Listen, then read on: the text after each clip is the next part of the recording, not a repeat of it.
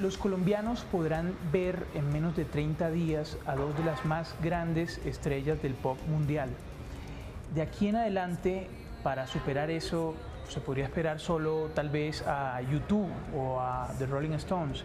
Sin embargo, con la confirmación del concierto de Lady Gaga surgen nuevos interrogantes eh, en dos aspectos fundamentales. Uno es que el escenario escogido por, por Gaga el estadio Nemesio Camacho El Campín no podrá albergar The Monster Pit, una especie de pasarela hexagonal eh, que caracteriza los espectáculos de la llamada Madre Monstruo, puesto que los hace participativos y hace que ella pueda interactuar con, con la gente que va a verla. Eso no se podrá ver en Colombia, ni en el Estadio El Campín, ni se podría brindar en el Atanasio Girardot de Medellín, lo cual pone en relevancia la necesidad de escenarios más grandes.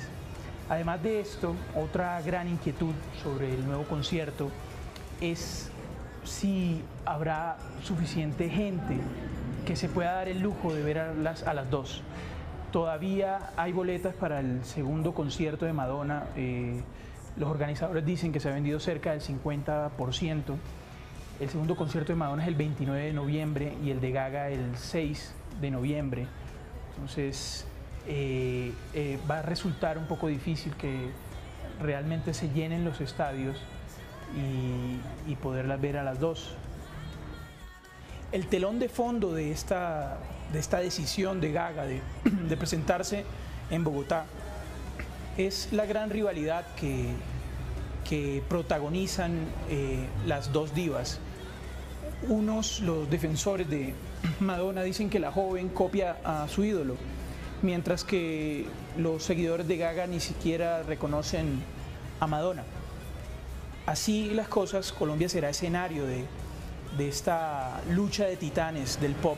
Sin embargo, sin duda, el país resulta ganador con estos nuevos anuncios, puesto que se consolida como un escenario vital para los principales artistas en su ruta por Latinoamérica hay gente con poder adquisitivo, hay disposición del público y hay escenarios donde, pues, si no son lo suficientemente grandes, por lo menos albergan los fanáticos que esperan ver a tantos artistas que están en deuda de venir al país.